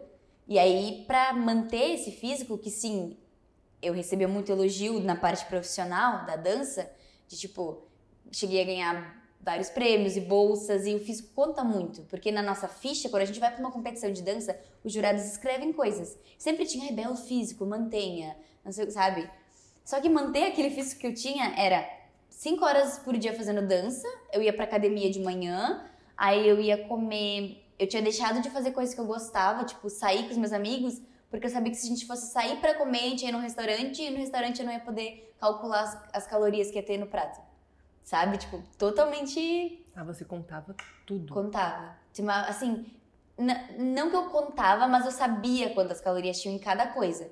Então, isso era uma coisa que eu olhava e falava, nossa, só esse azeite que eu via escorrido no prato, eu falava, já são sei lá quantas calorias. Então, eu, hoje eu fiz tanto de exercício, então quanto eu posso comer para não. Porque, tipo, querendo não é matemática. E esse raciocínio de calorias ajuda muitas pessoas. Não, é, não necessariamente é uma coisa tóxica. Porque tem muita gente que quer perder peso, tipo, pessoas obesas e querem melhorar a saúde, querem comer melhor e querem saber quanto comer, porque é uma coisa que, conforme o tempo foi passando, a gente foi desaprendendo o quanto a gente come de forma natural, o quanto é gula, o quanto, sabe? Porque Mas acho que é principalmente porque mídias, quando né? você come alimentos que são ultraprocessados, industrializados. É extremamente calórico. Porque daí são extremamente calóricos. E aí você perde então, a você falou aqui o azeite. Tudo bem. É, por exemplo, o é. azeite é um alimento refinado, né? Ele não é a gordura in natura. É? Agora, você não consegue comer a porção de castanha equivalente ah, a duas é. colheres de sopa de azeite. Assim, vai ser bastante castanha para você fazer essa equivalência. Então, toda vez que. Eu sempre falo isso até pro pessoal. É, você quer emagrecer de forma saudável, sem precisar ficar se preocupando tanto com calorias e com o volume que você vai comer, come, come, faz uma divisão do prato ali, a metade de salada, um quarto de feijões, um quarto de cereal só que tudo integral, porque o integral te sacia. Você Sim. vai ficar saciado e você não vai ultrapassar o quanto você. E aí, claro, vai fazer uma atividade física, vai ter um Sim. desempenho, né, para fazer alguma atividade. Porque é. hoje em dia tem muita gente que não faz nada, que é sedentário. É muito real isso. A comida. E a mesma coisa é, validando para emagrecer como para ganhar músculo. Muita gente pergunta, tipo, que eu, uh, eu consegui ganhar bastante músculo em um ano, assim, treinando. E as pessoas, ai, como é que, que, que você fez? Que é comida de verdade. Porque você não vai pegar nenhum nutriente da sua bolachinha recheada, por exemplo. Ah, é gostoso? É. E tá tudo bem comer uma de vez em quando? Tá, tá tudo bem comer. Só que você, quando você come essa bolachinha recheada, se você é aquela pessoa que vai estar tá, uh, uh, calculando por caloria, você vai deixar de comer outra coisa que te traria mais benefícios e iria construir mesmo seu músculo. Não só músculo, cabelo bonito, unha bonita, pele, Tudo, vem né? de nutriente. Ponto, né?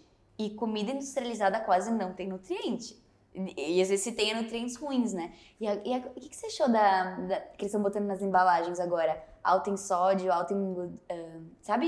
Uhum. Tá tendo em todas alto as embalagens gordura. alto em gordura saturada. Eu vou te confessar que deixei de comprar muita coisa depois que botaram. É, não, eu é bom pra gente ter eu... uma noção, né? Sabe? você fica assim, já, parece que estão te falando assim, ó, oh, você vai morrer logo. tipo, aí eu fico assim.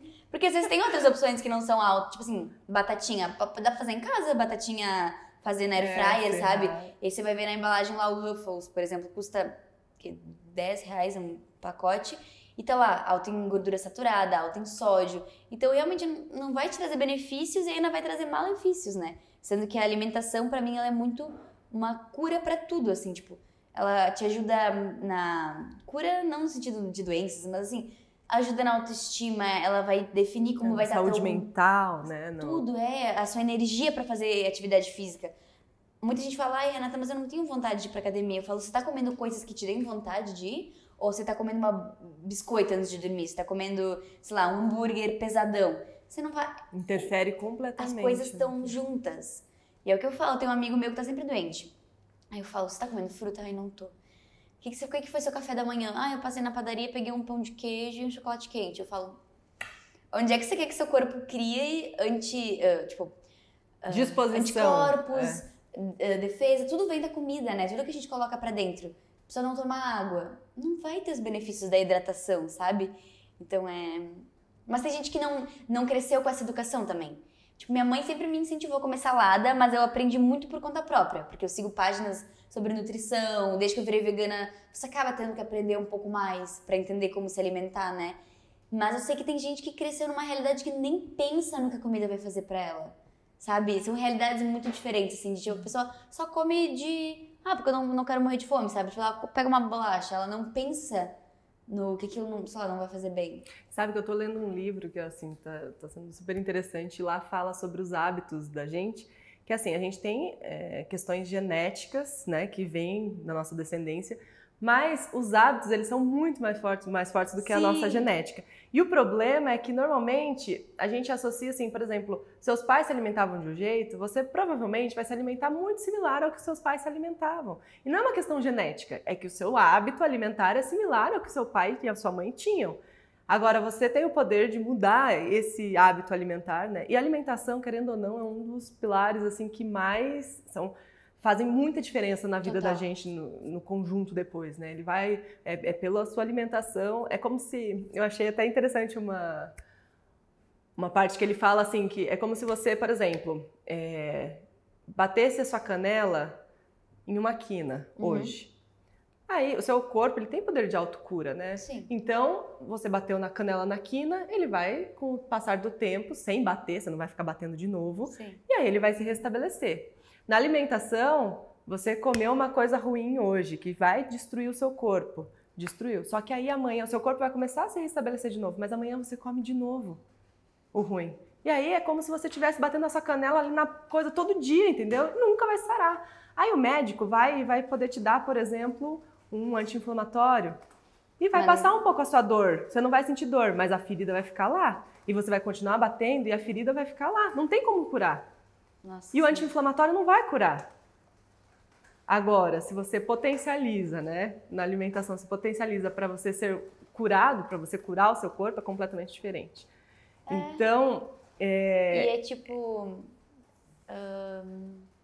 Aí eu perdi o que eu ia falar. É isso que às vezes a gente esquece, né? A gente não, não, não pensa que os alimentos eles vão ter esse poder de curar a gente, de fazer com que nosso corpo. Não é um alimento vai curar, ele vai te dar o meio do seu corpo se curar novamente. E tornar um hábito bom, tipo assim, um hábito que você goste. Não pode parecer que. Eu vejo muita gente falando assim, ai, semana eu vou começar a ser saudável.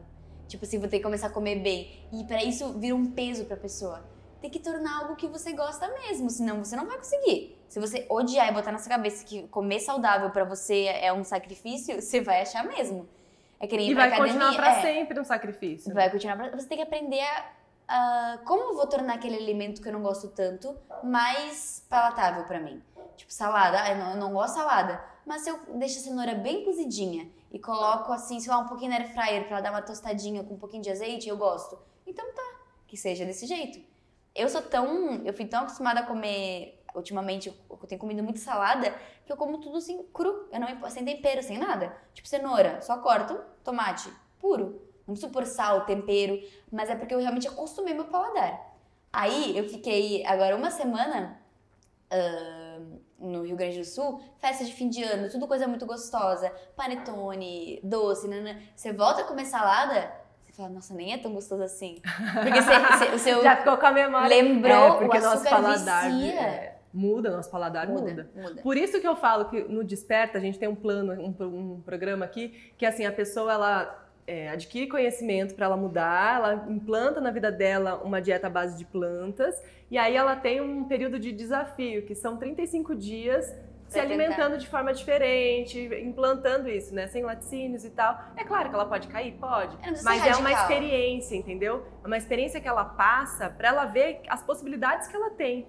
E durante essa experiência, as pessoas conseguem ver a diferença na vida delas. É muito legal o resultado, sabe? Eu acho que é legal A também porque de elas devem se tornar bem mais autossuficientes, né? Porque elas vão lá preparar a comida delas, elas meio que acabam fazendo por elas mesmas. E é, É. aquela coisa, tipo, quando você cozinha pra você, você dá muito mais valor pra aquilo, né? Não sei explicar, eu acho que é uma coisa que você acaba se conhecendo, você acaba entendendo. Eu amo a, a parte de cozinhar, de entender o alimento. Tipo, como a cenoura reage se eu cozinho, se eu frito, se eu faço esse processo. Como que eh, esse tempero fica com essa comida, porque, tipo, a páprica na cenoura e a páprica na batata muda tudo. Muda. Não é o mesmo. Então, assim, explorar. Na- volta e meia, eu adoro, eu paro na, naquelas lojinhas de coisa granel. Aí eu olho um tempero, ai, tempero, sei lá, Guedes. Eu vejo um nome diferente, eu. O que, que vai dentro? é isso, É.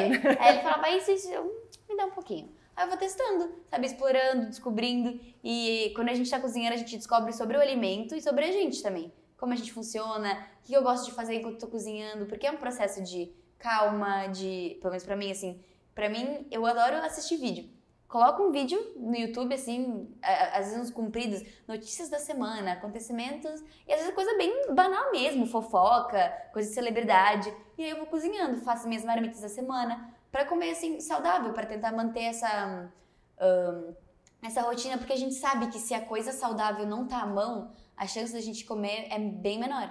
É muito mais fácil eu abrir meu armário Um e pegar uma, uma é. coisa aqui, ó, Com certeza. do que eu descascar uma batata, cozinhar, fazer, sabe? Tipo, dá muito mais. É, mas às vezes, o que eu percebo é que às vezes as pessoas acham que é impossível você ter uma rotina é, Parece distante, rápi- né? Parece tão distante. É, ah, não, mas eu vou ter que ficar cozinhando todo dia, minha barriga vai ser do. Gente, lá, sério, eu ensino um método que é assim: você cozinha um dia, fica 15 dias sem cozinhar, só montando sua refeição em 10 minutos.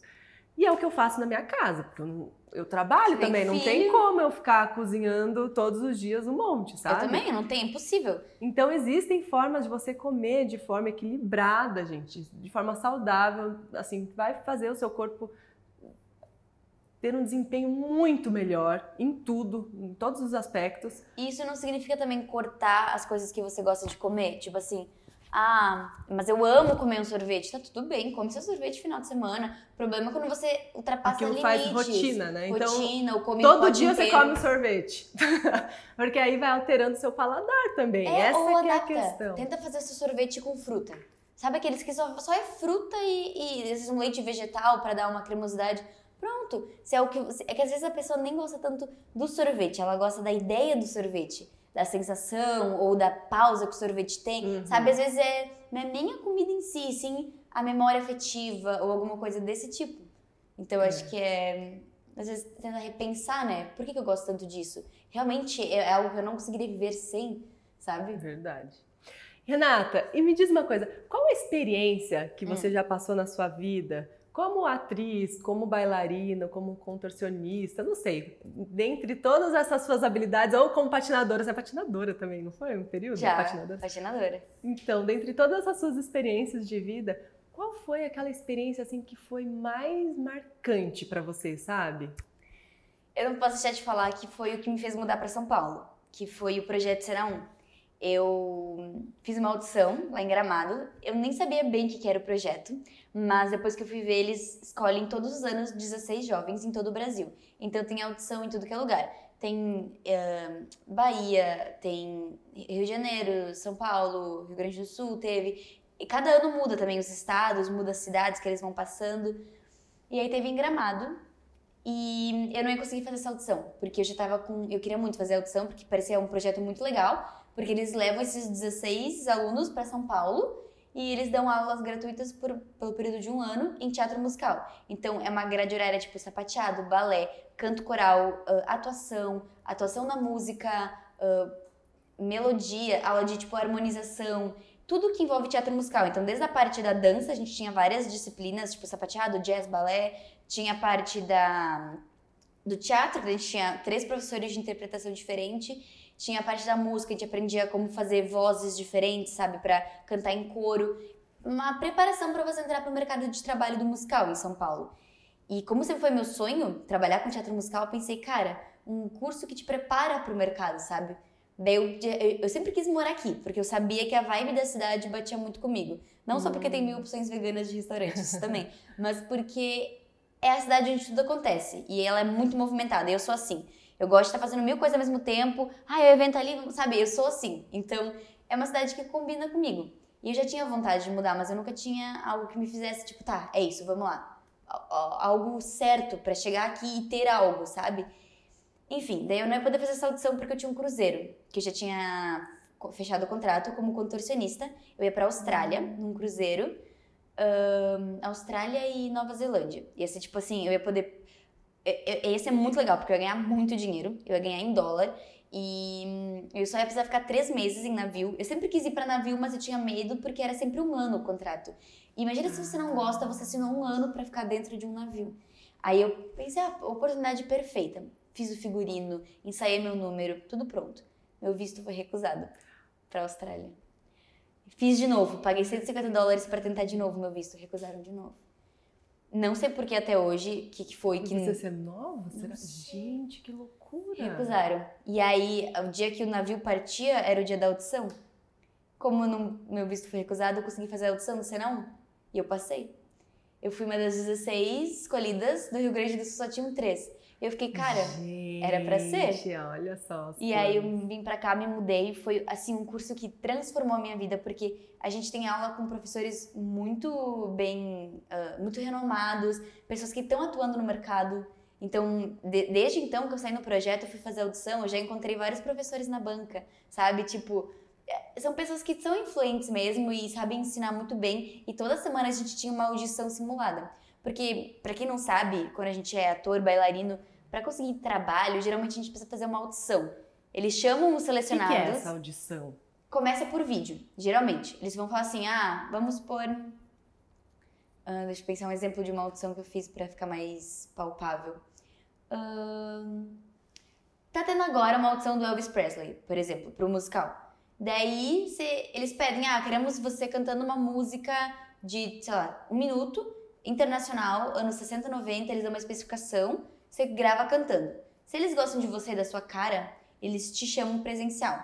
Às vezes tem mais fases no online para até chamar. Daí se eles gostam, ah, audição, esse é o local, esse é o horário, venha. Daí você tem que levar currículo, foto, cada audição é diferente, depende que, que você está fazendo. Eu já fui fazer uma audição de dança que eram oito etapas. Foi Nossa. horrível. E eu, eu rodei na última. Foi pior ainda, porque eu fiquei o dia inteiro lá. Eu juro, eu fiquei das, das seis da manhã lá até tipo oito da noite cada etapa, tipo, ah, agora é jazz, agora a gente vai testar vocês com salto, agora a gente vai ver vocês. Aí no final, tipo, ah, obrigada, vai ficar SSS. Às vezes o resultado nem sai no dia, às vezes a gente tem que esperar meses para saber se a gente Nossa. passou ou não pro trabalho. É horrível a sensação de ficar, tipo, um mês assim, será que daqui a um mês eu vou estar tá naquele musical ou não, sabe? Então, quando a gente vai fazer uma audição... É, é como se fosse um vestibular a cada... É, a cada, a cada novo... gente e aí você, céu. acaba o musical, você, você tá desempregado de novo, né? Você tem que ir de novo fazer a audição. Você nunca tá feito na vida, assim. E às vezes você dá sorte, porque às vezes você tem bem o perfil do personagem. E às vezes é bem o contrário, às vezes você, você dá azar. Você tá, tipo assim, você pode cantar muito bem, dançar muito bem, mas eles estão precisando de atores uh, por exemplo, meninas pretas. Aí eu já não posso me candidatar, me candidatar para aquele personagem porque não faz o meu perfil. Ou às vezes é meninas com tanto de altura, sabe? Então às vezes é coisa física que realmente não te dá o trabalho. Nossa. É. E daí lá no Cena 1, toda semana a gente fazia uma audição fake simulada. Eles davam um musical, tipo assim, essa semana o musical vai ser o Fantasma da Ópera, por exemplo. A gente estudava o musical, tinha que pensar numa música, apresentar para uma banca, que sempre era uma banca nova, convidavam pessoas de fora. Então pensa, não existe nenhum curso no Brasil que oferece isso, o 1 é o único. Ele é um projeto social. Então isso é muito legal. A única coisa que a gente banca é a nossa estadia, né? Mas o resto, tipo, a gente pode ficar lá o dia inteiro. A gente tinha aula das 8 da manhã até 2 da tarde, direto, assim, todos os dias, até sábado. Nossa. Então foi tipo, eu saí outra pessoa. Como eu cheguei em São Paulo e como eu tô agora, assim, de conhecimento em musical é. Então. Outra coisa. É. E aí, aqui em São Paulo, você conseguiu pegar mais trabalhos? Como que tem sido? Cara, eu já recebi vários não. tipo assim, é, já fui fazer várias audições. Já fiz pra cabaré. Agora eu tô no processo, tô fazendo audição pro Peter Pan. Inclusive, é depois de amanhã minha audição. Devo, é, tenho texto, já decorei, a gente vai lá, não tem como saber. Ou assim ou é não, mas se passar, por exemplo, os ensaios começam já em. Uh, na outra semana, sabe? Tipo assim, tu recebe um sim e na outra tu já tá ensaiando. Ah. Então, tipo, você tem que. A vida do artista tem que ser muito aberto a horários, sabe? Por isso que eu consigo conciliar muito bem com a internet. Porque hoje em dia, meu trabalho é a internet. Eu. Uh, antes eu dava aula de dança, mas agora que eu tô morando em São Paulo, eu não consigo mais ser prof, então minha renda vem 100% da internet. Então eu não posso deixar de gravar, não posso deixar de postar. Só que o bom é que eu consigo fazer meus horários. Se eu quero acordar às 5 da manhã e gravar 55 vídeos e deixar pra semana, eu posso? Porque daí na outra semana eu tô livre para fazer a minha audição, por exemplo. Ou para ensaiar, caso eu passe, Entendi. sabe? Então, é, é uma vida meio. É cheia. E ao mesmo tempo é. Eu gosto disso de poder fazer meus horários, para poder jogar com compromissos que eu gostaria de fazer, sabe? E como que você, como que funciona o seu dia a dia? Assim, você treina todos os dias para você não perder esse físico? É. Como que, como que é essa rotina de treino? Eu gosto de treinar de manhã, porque pra mim, só de pensar de chegar depois de 45 aulas de dança e ir pra academia, não quero. Não, não, Deus me livre, não quero. Aí eu acordo cedo, Ah, na então, academia você faz musculação, Isso, além é. da dança, Da dança, além é. de alongamento. por conta da tudo minha lesão, eu tive lesão no joelho, e aí o médico falou assim: Ah, eu te indico, se você não quer fazer cirurgia, é musculação pro resto da sua vida. Porque não adianta você fazer e parar, né? Você tem que manter o músculo. Porque você Se perde você para de treinar, o seu músculo vai ficando fraco. Então, eu vou todo dia pra academia, de segunda a sábado. Domingo é meu dia de folga. Daí eu vou sempre de manhã, antes do meu compromisso. Então, assim, se eu posso dormir um pouco mais, eu vou um pouquinho mais tarde. Mas geralmente eu vou ali pelas seis, cinco e meia, seis, já tô lá. Daí eu faço. Aí, se eu vou fazer uma esteira, eu aproveito o tempo da esteira, já tô postando os stories do dia. Começando, ah, tô na academia. As coisas que a gente sabe que é importante pra, pra manter as redes sociais ativas, que a gente que trabalha com internet sabe que as marcas gostam de ver as métricas atuais. Então não, não me interessa se semana passada você teve 3 milhões num vídeo, eu quero saber essa semana como é que tá. Então a gente tem que manter postando, né? Então eu já faço isso, daí eu vou pra casa, geralmente eu faço meu café da manhã, preparo ali e aí eu começo a trabalhar. Respondo e-mail, vejo se tem coisa da minha agência de tipo, ah, publi pra fazer, ou se o que, que eu tenho que gravar, o que, que eu tenho que editar, qual é o vídeo que sai hoje, porque eu posto todos os dias, sem exceção. De domingo a domingo, todo dia sai um vídeo novo. No YouTube? No, No- YouTube? não, nas No- redes. Ah, Daí tá. é no, no Reel, no TikTok e no Shorts no YouTube. Tá. E aí, vídeo longo pro YouTube sai todo domingo. Hum. Eu quero fazer duas vezes por semana vídeo longo, mas é trabalho. É puxado, né? O Puxado. vídeo longo é puxado. Então, tô tentando, assim, conforme. Daí, por exemplo, se eu pego um trabalho no mundo artístico, eu dou uma diminuída nas postagens. Se eu tô sem trabalho, assim, como bailarina, como atriz, eu aumento as postagens e mantenho mais ou menos o mesmo nível de dinheiro, né, entrando. Porque daí eu não tô ganhando aqui, mas eu aumento os vídeos, então outro. eu vou tentando nesse equilíbrio, sabe? Ai. É. E aí, a parte de dança, você dança todos os dias também? É, isso, eu faço. ah, mudou um pouco desde que eu tô em São Paulo, né? Mas assim, basicamente a minha vida inteira eu sempre fiz pelo menos duas aulas de balé por semana, uma aula de jazz, hip hop, porque é importante você saber todos os estilos também no musical. Você nunca sabe qual é o próximo que tá chegando no Brasil, né? Por exemplo, Cats. Cats precisa de bailarinos clássicos. Aí chega, por exemplo, In The Heights, danças urbanas. E aí, se eu só sei dançar dança clássica, eu vou pra uma audição, eu posso ter cantado incrível, eu posso ter atuado muito bem. Mas se na hora de dançar danças urbanas eu ficar desengolçada, porque eu tenho esse jeito mais clássico, não fica bom. Então eu tenho que saber, mesmo que seja enganar, sapateado. Eu comecei a sapatear esse ano. É.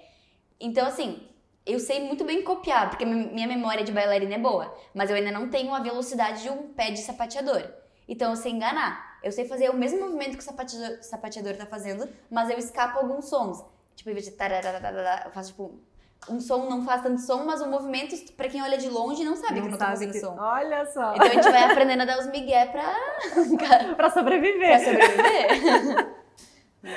ah, e que dica você daria agora tá. pra aquela pessoa que quer ser bailarina? Quero ser bailarina, qual que é a sua dica principal para essa pessoa? Acho que a primeira dica eu sempre falo é começa. Tipo assim, não fica só com a vontade. Muita gente fala, ai Renata, vejo seus vídeos e tenho vontade de voltar pro balé. Volta. Se você não gostar, tudo bem. Mas você vai descobrir se você gosta ou não. Não deixe essa pulga atrás da orelha, porque às vezes as pessoas deixam de fazer coisas por medo e às vezes um, tem um ditado que fala que a gente nunca se arrepende pelas coisas que a gente fez, só pelas coisas que a gente não deixou fez. de fazer. Então, assim, se você não gostar do balé, tá tudo bem, mas você tentou, você foi ver como é que era. Você, que às vezes a pessoa fez quando era pequena, parou e agora tem vontade de voltar, mas não sabe se ainda vai gostar, se. Vai lá, faz. E também não precisa colocar tanta pressão em ser perfeito. E também outra coisa muito importante é não se comparar. Não, não olha um vídeo de uma bailarina no Instagram que treina 40 horas por semana e, ah, eu quero dançar que nem ela, porque a realidade dela às vezes é aquilo. É a mesma coisa musa fitness, né? Ai, eu queria ter o corpo dela, mas ah, muitas vezes a pessoa vive para isso. É a profissão dela é ser uh, coach de academia, então é, não dá para comparar uma pessoa que tem um trabalho, tipo, começa às 7 horas e acaba às 6, sabe? E, e que consegue ir na academia de vez em quando no fim da noite com a pessoa que tem a vida dedicada para academia. É. Então, assim, não, não, não, não dá, não dá para comparar universos e se colocar para baixo. Eu sempre falo, compare você com você mesma. Começa, grava uns videozinhos seus. Primeira aula de balé. Daqui a duas, dois, três meses, olha, você vai ver que vai ter diferença. E a melhor diferença é a de você para você e não de você para outra pessoa, porque você não é outra pessoa. Então, eu acho que é isso. A... Ver a sua evolução. Exato. Foca na sua evolução. E se divertir no processo. Não deixa pesado. Tipo, não. Ai, tem que ir pro balé, ou, ai, tem que fazer porque. Não, tem que, tem que gostar. Ou pelo menos assim, aprender a... nos dias que tá mais difícil, nem sempre a gente quer. Nem sempre a gente quer acordar e cozinhar, nem sempre a gente quer acordar e trabalhar, mas a gente tem que saber disciplinar nosso cérebro para fazer. Como é que eu vou fazer para que deixe mais leve, então? Ah, hoje eu não tô afim de gravar vídeo. Tá, mas então hoje então vou fazer os vídeos que eu mais gosto, vou fazer um café da toma enquanto eu gravo, eu, eu, eu tento uh, uh, achar mecanismos que deixem minha rotina, que é muito puxada, às vezes mais divertida, sabe? Para que eu me, me auto-engane, sabe? tipo, e funciona, porque eu tô até hoje. ai, ai. E qual a dica que você dá para aquela pessoa que quer ser é, atriz? Atriz. Atriz. Acho que assim como a dança é, mas assim, profissionalmente, assim? Profissionalmente. Muito estudo muito estudo, não ter medo do ridículo. Tipo, às vezes a pessoa. Ah, às vezes você vai ter que interpretar todo que tipo de papel. E tem gente que acha que vai começar no teatro e vai chegar interpretando a protagonista. A menina. Às vezes você vai usar um figurino feio, às vezes você vai pegar um personagem que você não tem nada a ver com você e é aceitar e abraçar aquele personagem, porque a gente aprende muito mais com os personagens que não se parecem com a gente, porque eles nos desafiam, do que se eu pego um personagem que tem tudo a ver comigo é muito é mais fácil. Então eu acabo ficando ali na mesma. E eu acho tão sem graça ficar sempre fazendo a mesma, o mesmo padrão de personagem, mesmo se joga, vai fazer aula e vai uh, participa de grupos de teatro também. Vai conversar com pessoas que têm o mesmo interesse que você, porque você aprende muito com o outro. E às vezes as pessoas são muito individualistas, tipo, aí ah, eu quero ser um bom ator, então vou ficar fazendo minhas aulas aqui, não sei. Faz, vai num grupo, conversa. Um, no Facebook, no Instagram deve ter páginas de ator, atriz, tem, tem gente que dá dica. A gente tem que aprender também a usar a internet a nosso favor. Nem todo mundo tem dinheiro para pagar uma aula de teatro, mas tem muitas aulas oficinas sendo oferecidas gratuitas e às vezes a pessoa nem foi atrás para descobrir. Tem muito curso de teatro gratuito. Se você procurar, assim, que é através de projetos sociais ou que é a prefeitura ou por programas do governo, sabe? Então, se é uma vontade uh, da pessoa ser ator, atriz, estuda qual é o personagem mais desafiador que você já, que já, já representou? É. Que você falou assim, gente, será que rola isso? Cara, deixa eu pensar o mais. Ai, já teve uma vez que eu tive que fazer uma, uma louca. Literalmente, ficava num hospício. O espetáculo acontecia tudo num hospício. Ah, uma louca, louca, uma louca, louca de hospício, assim. É, A última personagem, ela não foi desafiadora no meu, tipo, em jeito, porque ela era meio patricinha, mas ela falava assim, tudo que ela falava era que... Então era um contraste. Ela tinha uma voz extremamente grave, e aí o corpo dela era todo patricinha, e na hora de cantar, ela voltava a cantar agudo. Porque foi, um, foi o último musical que eu fiz, que foi no o Cena 1, quando encerra o projeto, a gente apresenta um musical. Deu- minha personagem era Monize, que ela é aquela menina meio... Sabe aquelas meninas ricas do Rio que, tipo, falam umas coisas muito sem noção, tipo.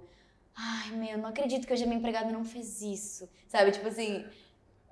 Reclama de uma coisa muito white girl problem que a gente fala assim. Problema de garota branca ou garota rica. Ela, ela é toda assim, riquinha, mas ela quer ser do povo. Então ela usa boné de comunista porque ela se- quer ser da galera, sabe? Ah, Então ela era uma personagem meio desafiadora nesse sentido de eu entender ela, de eu entender esse lugar de garota rica, porque eu nunca tive. Então, de. Eu fui fazer uma pesquisa de, tipo, pessoas. Não vou falar.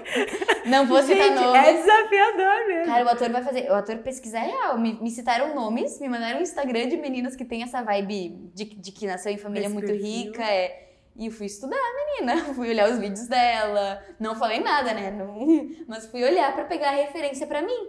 Porque um ato- uma outra coisa muito boa, ator, pra quem quer ser um bom ator, anda de metrô, vai ver gente, não fica em casa. Porque o ator aprende observando o jeito. Porque o ator nada mais é do que alguém que imita outra coisa, assim. Tá, nossa, agora eu super simplifiquei a carreira do ator, não é só isso, tá? Mas, tipo, nada mais é alguém que imita. Mas, assim, se você olha outras pessoas, você começa a aprender como uma pessoa mais velha se movimenta. É diferente de de uma pessoa mais nova. Então, depende do seu personagem, você tem que pegar e observar pessoas. Você não vai pegar do seu repertório porque você não viveu aquilo. Se o seu personagem viveu uma história muito triste, que, por exemplo, comigo, eu nunca tive uma perda muito trágica. Tipo, de uma morte de um familiar muito próximo.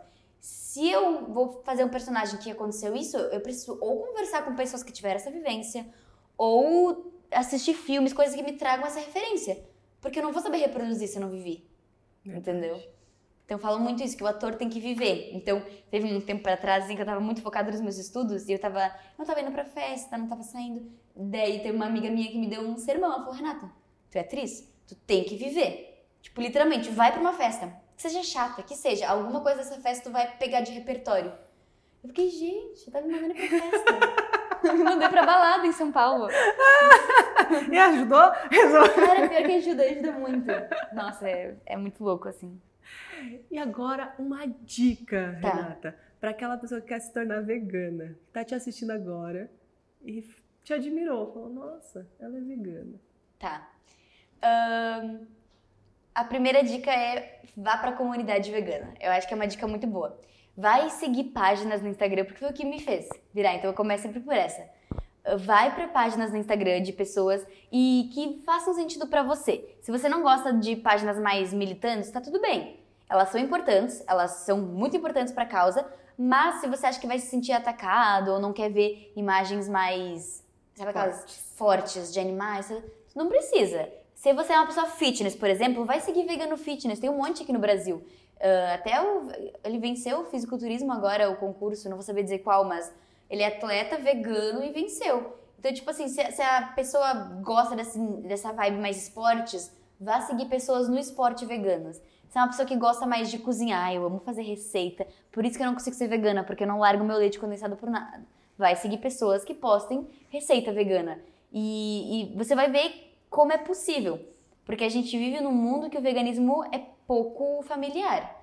Então, no momento que ele vira familiar, minha é engraçado, porque na minha cabeça parece que todo mundo é vegano, sabe? Porque no meu Instagram, se eu vejo uma receita, eu sei que é vegana. Não vai aparecer outras receitas. Que eu parei de seguir qualquer coisa que não poste. Porque, é, não que eu, ai, não posso ver uma receita que não é vegana, não. Mas às vezes me deu vontade, eu vou ver, ai, não é vegana, deu. Mas faço seguir coisas que vou fazer, Que né? bom, É, com Então, certeza. tipo, esteja perto da comunidade, converse com veganos e vegetarianos.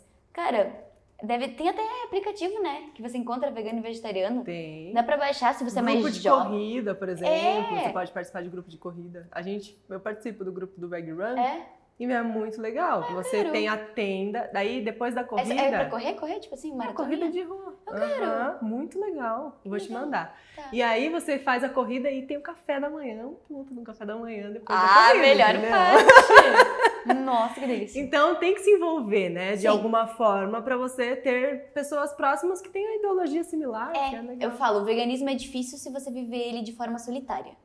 Então, assim, não seja um vegano que se isola. Vai- continua saindo com seus amigos não veganos. Não Só dê- leva é, seu legume, Leva o cara. seu negócio, apresenta pra. Se você tá afim de.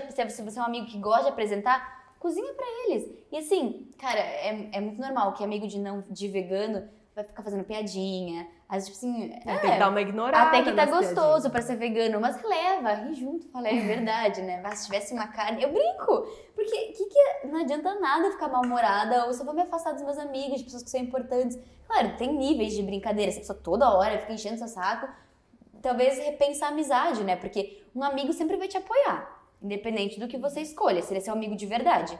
Não quer dizer que ele vai parar de comer carne por você, mas se você diz que é vai o que te eu quero, respeitar, né? No mínimo, no vai mínimo, respeitar. É. Então, e também aprenda a descobrir novos sabores. Pra você ser vegano, você não pode ser aquela pessoa 100% apegada a gostos que você já conhece com a carne. Porque não existe nada vegano que vai ser 100% igual. Mas existem coisas que eu digo que são 100% e ainda melhores de sabor. Tipo assim, não, nunca o gosto vai ser 100%. Mas não quer dizer que você não encontre outra comida que seja 100% gostosa igual, sabe? Então eu falo assim, por exemplo, eu amava comer estrogonofe, era meu prato favorito. Eu amo comer estrogonofe vegano.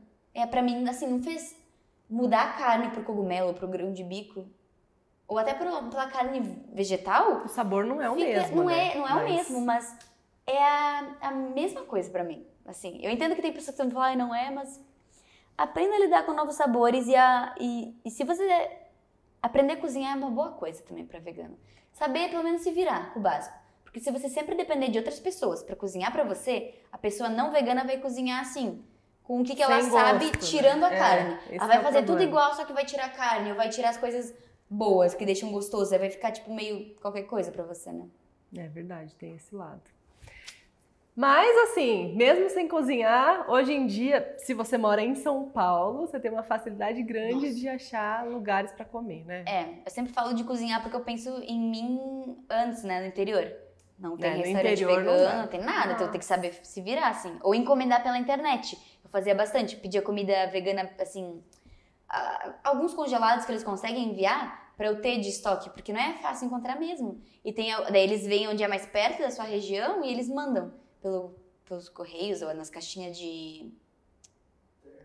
É, caixinha térmica de... Como é que é o nome? Eu não, não Aquela branca, aquele material, isopor. Isopor. É. Fugiu. Bom, a conversa tá muito boa, mas assim, acho que a gente já. extra- Nem sei quanto tempo foi de conversa aqui. Também Vou não chamar outro dia pra gente falar de Sim. outros assuntos. A gente pode ensinar, tipo, combinar de fazer uma receita ou trocando de, de, sei lá, rotina de pratos, assim. Tipo, você come um dia tudo que eu como e eu como o que você Ah, come. legal, hein? É diferente? Olha, diferente. e podemos tentar fazer algum de exercício também. Pode ser, um desafio da yoga, uma coisa. Pode ser, dá pra fazer. Você faz um crossfit e eu faço alguma coisa de ginástica. Pode Quem ser. sabe? Crossfit você Será faz? que eu faço? Ah. Não sei se eu faço, eu faço crossfit. Eu acho legal o crossfit. Eu, Já- eu fiz assim muito, uma vou vez. todo dia, sou louca do crossfit. É? Sério? Ah, eu quero, eu quero. Vamos fazer, trocando, trocando de treino, então. Eu faço Eu crossfit e amo. faz academia. Fechou? Fechou? Vamos. Tá. Isso é legal. Então aguarde os próximos episódios que a gente vai continuar aqui. Ó. Pode, pode. Agora deixa a sua mensagem para as pessoas que vão ver esse vídeo daqui 50 anos. Que mensagem que você quer dar para essa pessoa? mensagem final. pra pessoa que tá assistindo. Não, a pessoa que vai assistir esse vídeo daqui 50 anos. Ahn, Espero que o mundo esteja mais vegano. não, eu não sei se. Boa! Eu acho, eu acho que. Ah, já sei, já sei. Uma mensagem melhor.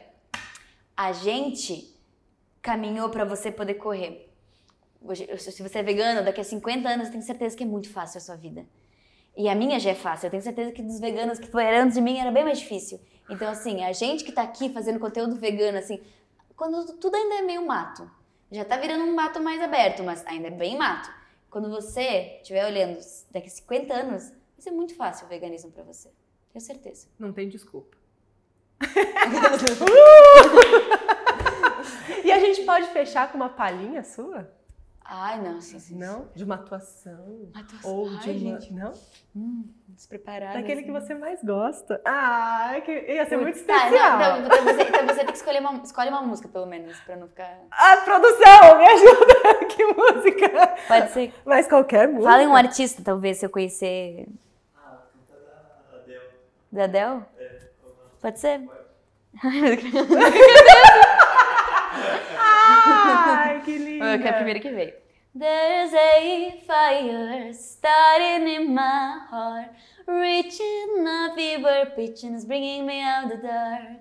Finally, I can see you crystal clear. Go ahead and tell me how and I'll ship it. Uh! Nossa, que lindo! Gente, sério. Você... Ai, quando- onde que é o seu próximo espetáculo que eu quero ir assistir? Se tudo der certo, a minha audição do Peter Pan. Deixinho, ó, vamos ver, vamos ver. Mas quando tiver... Mas me manda, pode deixar. mesmo. Nossa, aviso. A gente consegue, geralmente, quando a gente é artista, a gente consegue lista amiga, né? a gente consegue tipo, promoção pra quem é mais próximo, pra entrar. Então, é, pode deixar que eu deixo Eu avisado. virei sua fã, não esquece de mim. Tá, pode deixar, pode deixar. Obrigada, viu, mais uma Obrigada. vez pela sua presença. Foi um Eu prazer amei, eu amei. enorme ter você aqui. E vamos junto para os próximos. Pode deixar. Tá, tá- tá combinado, de verdade. A gente vai Combinado. fazer o desafio do crossfit e se eu for fazer a cozinha. corrida lá, eu posso fazer um vlog do dia da corrida. Vamos, vamos numa corrida, na eu- próxima corrida. A Vamos. gente Que marca. dia é? Já tem? Tem uma em março, né? Acho que tem uma em março. Legal. A gente pode marcar Tá. essa. É geralmente final de semana, né? É de domingo, normalmente é de então, domingo. domingo Domingo, cedo, sabe? Bem Show. cedinho. Gente, beijo. Beijo. Até a próxima. Até.